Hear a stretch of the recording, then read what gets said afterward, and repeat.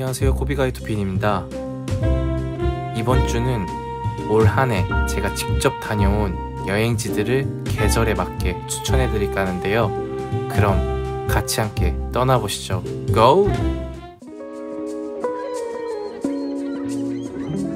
아, 처음에 제가 9시 15분 정도에 성파당에서 출발했는데요. 사실 진달래까지 올라가는 데는 2시간밖에 걸리진 않았어요. 처음부터 진달래 코스까지는 그렇게 어렵진 않습니다. 중간에 이제 얼음이 나오면서 그때부터 미끄럽기 시작하거든요. 그때 이제 아이젠을 끼셔, 끼고 올라가시면 될 것 같습니다. 처음에는 저는 어렵지 않다고 해서 아 뭐 그냥 올라가겠네 라고 생각했는데 중간부터 진짜 숨이 헐떡헐떡 차고 허벅지가 저는 지금 아직까지 지금 터지는 것 같거든요 충분히 스트레칭을 하고 준비를 하고 올라가시는 게 전 좋습니다 그 진달래 대피소에 올라갔을 때부터 정말 엄청난 설경들이 펼쳐지는데 유명한 대사 있잖아요 장관이네요 시즌 주신 선물이네요가 생각나는 진짜 말도 안 되는 광경들이 눈앞에서 펼쳐집니다. 농담이 아니고 한라산 그 진짜 올라가 보니까 너무 좋았고요. 평생에 한 번은 꼭 가볼 만한 설경이었고 어디서도 보지 못할 설경이었어요.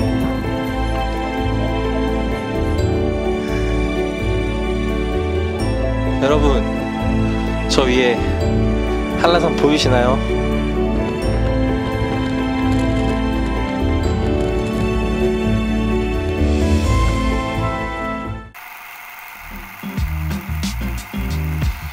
진짜 장난 아닙니다 지금 온통 다 벚꽃이에요 사실 여기도 화개장터가 제일 유명한데 쌍계사 벚꽃 심리랑 근데 그곳이 아니더라도 여기 그냥 길 가다가 세운 거거든요? 이렇게 지금 장난 아닌 벚꽃들이 곳곳에 펼쳐지고 있어요. 사실 화개장터로 굳이 안 가셔도 됩니다.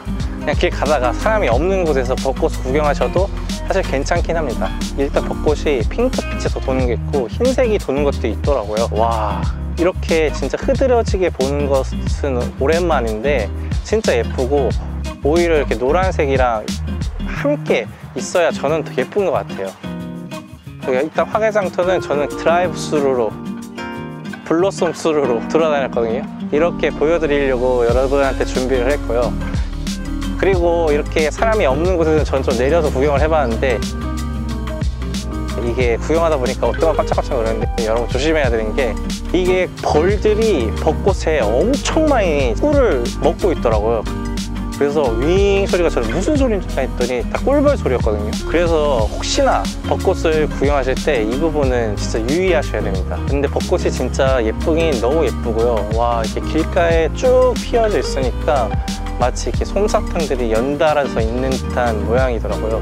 그래서 더더욱 아름다운 것 같아요. 이 하동은 참 매력적인 곳이다. 불의 하동 광양은 참 매력적인 곳인 것 같아요. 진짜 봄에는 웬만한 곳보다 장점들이 너무 많아서 이 하동 구례 광양이 그렇게 사람들한테 사랑받지 않나 생각을 해요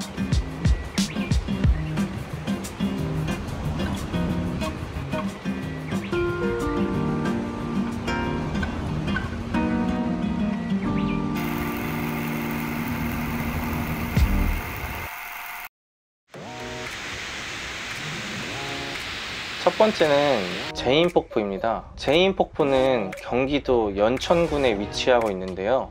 강변역 기준으로 해서 서울에서 약 1시간 정도 걸리는 거리에 있습니다. 제인폭포에 처음 도착했을 때 물소리가 그렇게 크게 나지 않아서 저는 폭포가 작은 곳이구나 라는 생각을 했습니다. 그러나 맞이한 제인폭포는 아주 시원한 가득하게 웅장한 위험을 나타내고 있었는데요. 폭포가 생각보다 커서 정말 시원함을 가득 느낄 수 있었습니다. 주변의 자연 환경도 여기가 우리나라가 맞는지 생각이 들 정도로 굉장히 신기한 곳이었습니다.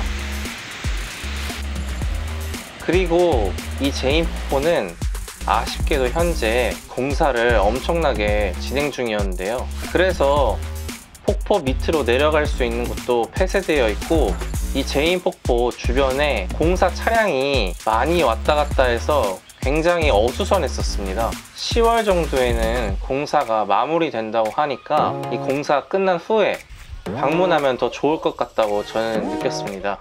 그래서 아우라지 베개용암이라는 곳이 바로 근처에 있어서 찾아가 봤는데 이곳도 공사 중이기 때문에 아직까지 방문은 이른 감이 있다고 생각합니다. 하지만 폭포의 시원함을 느끼실 분들은 저는 가는 것을 추천합니다.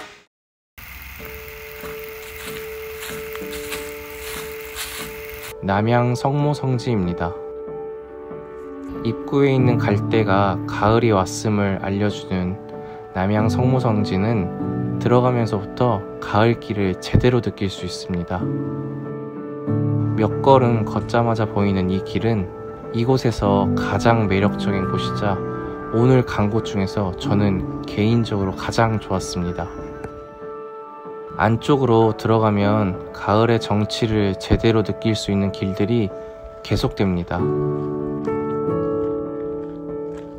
오늘 추천하는 세 곳 중에서 이곳이 가을이 가장 빨리 왔고 얼마 남지 않은 곳입니다. 남양 성모성지의 또 다른 매력은 떨어진 잎을 빨리 치우지 않기 때문에 청각으로도 가을을 느낄 수 있는 곳입니다. 남양 성모성지는 종교에 관계없이 방문이 가능한데요. 정말 조용하게 가을을 감상할 수 있는 곳이 바로 이 남양 성모성지라고 저는 느꼈습니다.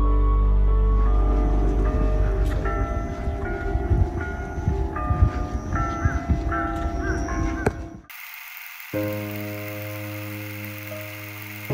오이도 근처에 있는 시흥의 선사 유적지입니다. 여기 뒤에 보이시죠? 와, 억새가 진짜 무슨 파도처럼 보이는 곳이에요. 여기는 저도 처음 알고 이번에 와본 곳인데 정말 hidden spot이라 사람들이 잘 모르는 곳입니다. 하지만 여기 뒤에 보이듯이 정말 이 억새들이 무슨 파도 물결처럼 지금 치고 있거든요. 그래서 너무나도 아름답습니다. 이 선사 유적지는 억새가 다이고 이게 가장 큰 매력 포인트입니다. 제가 올해 본 곳 중에서 여기가 가장 저는 예쁘고 시간대가 맞아서 그런지 가장 멋있더라고요. 이렇게 현사 유적지는 산 언덕 한 면에 다 억새가 뒤덮여 있기 때문에 마치 멀리서 보면 파도가 치는 듯한 억새를 볼 수 있고 가까이서 보면은 햇빛에 비쳐서 은빛으로 빛나는 억새를 볼 수 있습니다. 오이도 선사유적공원에는 선사유적지도 있고 전망대도 있었지만 저는 그다지 인상 깊진 않았습니다. 여기 또 다른 매력은 사람들에게 아직까지 알려지지 않은 곳이라는 건데요. 그렇기 때문에 많은 사람들이 몰라서 나만이 조용하게 오롯이 억새를 즐길 장소가 바로 이 선사 유적지 공원입니다. 어느덧 올 한 해도 끝나가고 있는데요. 여러분들은 올해 어떻게 보내셨나요? 내년에도 여러분들께 좋은 여행지를 소개할 수 있게 노력하겠습니다. 그럼 행복한 한 해가 되기를 저는 바라겠습니다. 다음에 또 만나요. 안녕.